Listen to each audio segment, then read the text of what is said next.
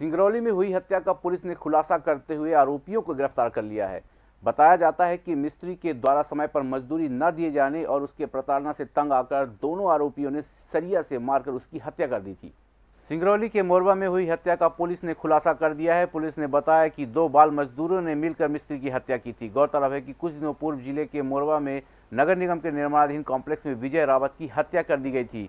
Police ने आरोपियों को गिरफ़्तार कर लिया है। बताया जाता है कि मिस्त्री विजय रावत द्वारा समय पर मजदूरी न दिए जाने एवं उसके प्रताड़ना से तंग आकर दोनों आरोपियों ने आधी रात को सरिया से मारकर उसकी हत्या कर दी थी। इस हत्याकांड का खुलासा करते हुए टीआई नागेंद्र प्रताप सिंह ने बताया कि मृतक विजय रावत, रानी सिंह गौड़ एवं दो अन्य नाबालिगों को साथ रखकर मोरवा में निजी ठेकेदारी का कार्य करता था। मिस्त्री विजय रावत से दोनों नाबालिग अपने मजदूरी का भुगतान चाह रहे थे, जिन्हें वह कई दिनों से टाल रहा था। घटना की रात पैसों को लेकर मृतक विजय ने दोनों को काफ़ी खरी खोटी सुनाई, जिससे गुस्साए लोगों ने, आरोपियों ने सोते समय विजय की सरिया से मारकर हत्या कर दी और फरार हो गए थे।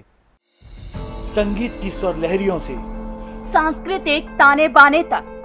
चंबल के पीड़ों से नक्सलवादियों के गढ़ तक। झोपड़ी से महलों तक। ठेलों से मेलों तक। पगडंडियों से सड़कों तक। गाँव से शहरों तक। व्यापार से उद्योगों तक। राजनीति से कूटनीति तक। दखन न्यूज़। आपके हक।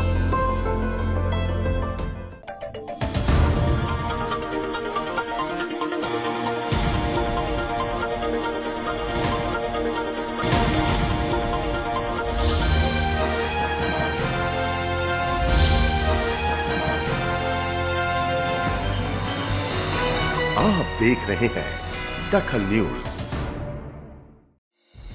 संगीत की स्वर लहरियों से सांस्कृतिक ताने बाने तक चंबल के पीड़ों से नक्सलवादियों के गढ़ तक झोपड़ी से महलों तक ठेलों से मेलों तक पगडंडियों से सड़कों तक गाँव से शहरों तक व्यापार से उद्योगों तक। राजनीति से कूटनीति तक। दखन न्यूज़। आपके हक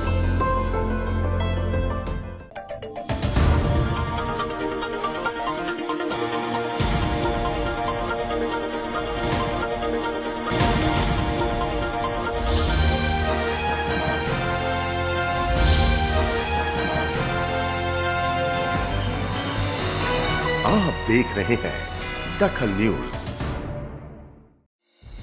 संगीत की स्वर लहरियों से सांस्कृतिक ताने बाने तक चंबल के पीड़ों से नक्सलवादियों के गढ़ तक झोपड़ी से महलों तक ठेलों से मेलों तक पगडंडियों से सड़कों तक गाँव से शहरों तक व्यापार से उद्योगों तक। राजनीति से कूटनीति तक। दखल न्यूज़। आपके हक